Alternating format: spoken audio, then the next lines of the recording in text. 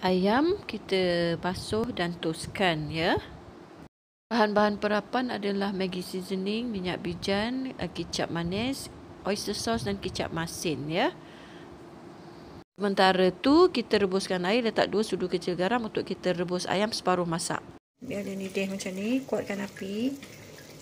Right, uh, air air rebusan ayam ni juga menjadi air kepada masak nasi, buat sambal dan buat kicap.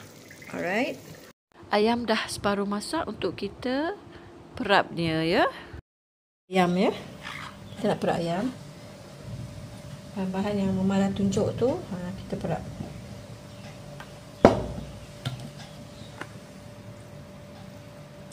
Kecap Maggi, seasoning. Ni masin ya, yang banyak sangat. Kecap manis. Ni kalau dia goreng dia akan jadi hitam. Jangan ter, jangan ingat dia hangus tak. Dia memang bila kicap kan dia akan menampakkan gelap sikit. So jangan panik.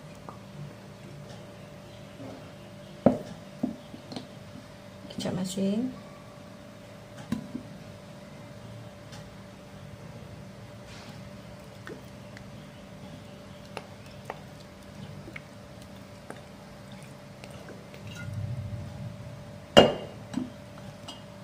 Oyster sauce.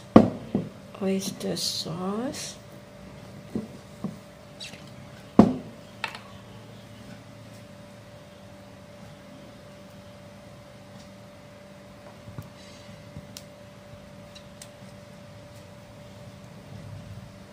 Dan minyak bijan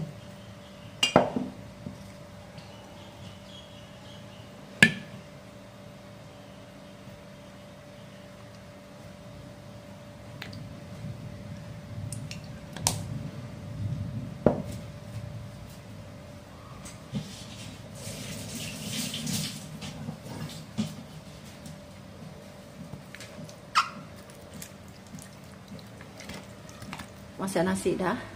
Bahan-bahan mama senang je. Beras yang telah dibasuh dan ditus. Minyak masak. Daun apa? Daun pandan. Uh, halia ya. Halia kita hiris.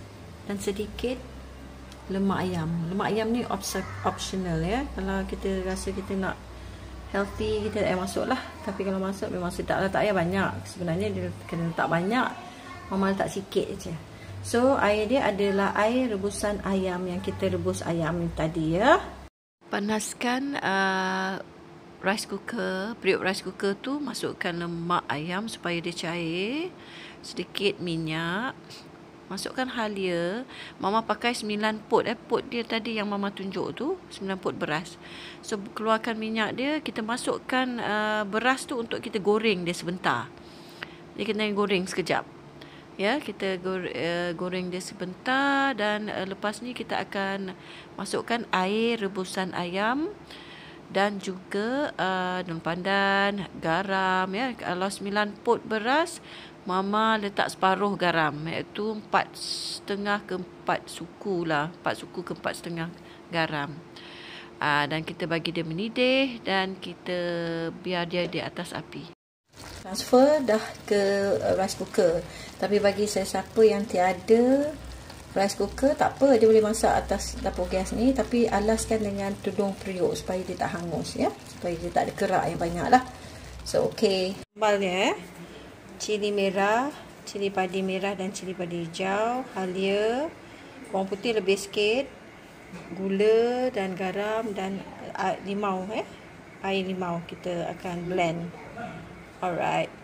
Masuk ke dalam blender barang-barang tadi. Ni air rebusan ayam ya. Kita masukkan air rebusan ayam.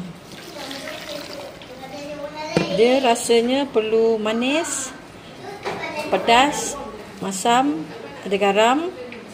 Okey, ni tadi gula sudu besar ni, empat. Uh, garam letak satu sudu dulu ya, nanti rasa. Kecap dia. Okey, ni air rebusan ayam kita akan tumis bawang kecil sehingga wangi dan garing. Kemudian kita akan masukkan air rebus ayam. Kita akan masukkan uh, sos uh, tiram, kecap manis, kecap masin dan apa tu minyak bijan. Last sekali kita akan masukkan tep, uh, air tepung jagung, uh, tepung jagung untuk pekatkan dia. Okey, ini mama nak ajar macam mana nak masak. Okey. Sorry, terpaksa pakai suara chipmunk. nak cepat, nanti panjang sangat, you're boring. Okey, kita nak masak uh, kicap. Uh, panaskan minyak sikit, tumiskan bawang kecil, bagi wangi sampai kuning. Kemudian boleh masukkan air rebusan ayam. Dan seterusnya kita masukkan kicap, masin, kicap manis, oyster sauce ya dan minyak bijan. Dan kita akan pekatkan dia dengan air jagung. Kita pekatkan sikit ya. Ha tu je cara dia. Rasanya mesti ada macam masin-masin, manis sikit dan ada rasa minyak bijan ya.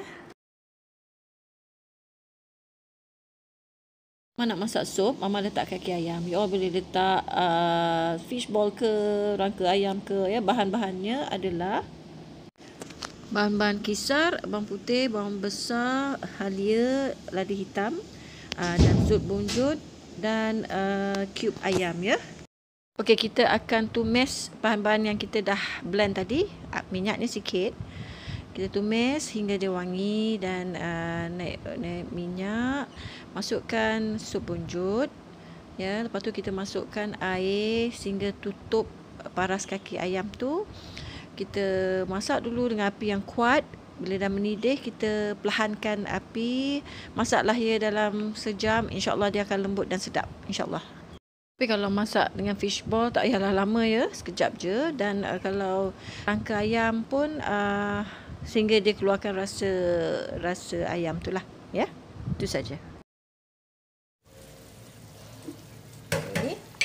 ini kaki ayam kita dengan lidih kuat ya so perlahankan api dan biarlah dia masak dengan sendirinya dalam sejam ke macam tu alright dah masak ya ini memang nampak macam hitam sikit tapi kita saja cucuk Dah siap nasi ayam mama. Simple aja.